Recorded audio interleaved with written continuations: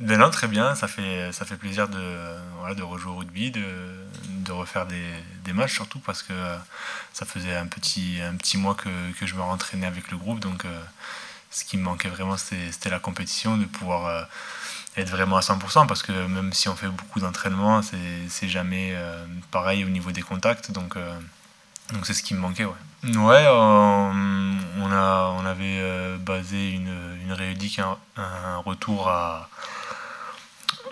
L'objectif c'était de, revenir à l'entraînement aux alentours des 6 mois, 5 mois et demi. Donc on, dès que je me suis blessé, on a, établi un, programme et donc j'ai fait euh, ma première partie de rééducation à la, clinique Medipol à Toulouse où je me suis fait euh, opérer pendant un mois.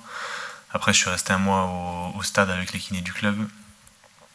Au mois de, juin, quand il y avait les phases finales, euh, je, suis, parti sur Perpignan où, où j'avais connu la même blessure et où j'avais gardé des liens avec le, prépa physique et le kiné. Donc c'était plus simple pour le club et pour moi de, partir de, du stade parce qu'il bah, y avait des, stages et forcément, euh, la, la, priorité, c'était euh, les phases finales et le groupe euh, qui allait jouer. Au mois de juillet, je suis resté au stade avec les kinés et, les prépas qui étaient là parce que bah, le reste du groupe était en vacances, donc on a pu bien bosser en biabi.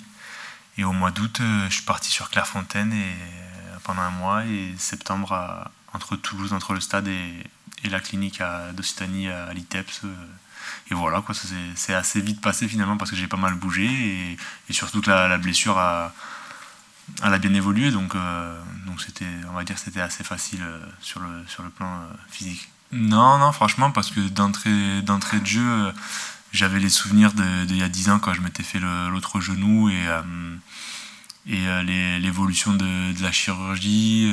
au bout d'une semaine, je remarchais, c'était vraiment, j'ai vu une évolution entre les, entre les deux opérations, donc ça m'a conforté euh, mentalement. Mais bien, bien, bien, il me tardait vraiment parce que comme je dis, ça faisait, ça faisait un petit mois que, que je me rentraînais et, j'avais envie de ça, quoi, donc, euh, donc ça m'a fait du bien.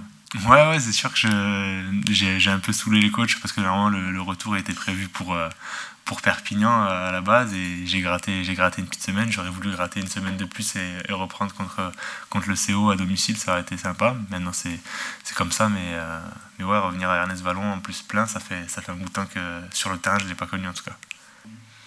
Mais euh, pour y avoir passé un petit moment euh, au mois de juin, quand ils ont été champions, euh, j'ai pu les croiser et discuter, discuter avec eux et, je sais que voilà, ils ont ils ont appris de, de leur passage en 2018-2019 où, où ils étaient champions, c'était la première fois qu'ils remontaient.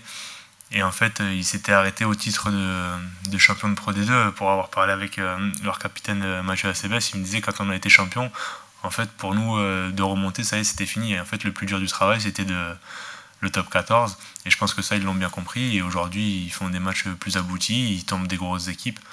Donc euh, ils font des gros déplacements, des... ils sont pas loin de faire des gros coups à, l'extérieur. Donc voilà, je pense qu'ils ont appris, cette saison 2018-2019 leur a, servi de, leçon et ils sont prêts.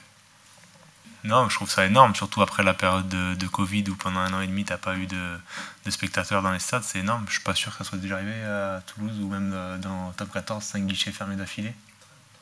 Très longtemps. Ouais. Mais franchement, c'est ouf, c'est impressionnant et c'est génial. Je pense que les résultats ils sont pour beaucoup, que euh, aussi l'absence de, un an et demi de terrain font que les, gens ont envie de venir.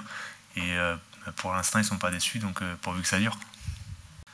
Mais je, c'est vrai que j'ai eu beaucoup de, messages d'encouragement, de, compassion, même pour mon retour, même à la U ça m'a fait, fait vraiment plaisir. je pense que je suis quelqu'un qui qui donne sans, sans sans se retenir. Donc euh, les gens ils aiment bien ça, je pense, et ils redonnent en, échange. Ça n'a pas été toujours le cas. J'ai eu des moments difficiles, mais euh, moi j'ai pas changé mon fusil d'épaule ou ma façon d'être. C'est comme ça. Des fois ça sourit, des fois moins, mais euh, voilà, je prends ce qu'il y a à prendre.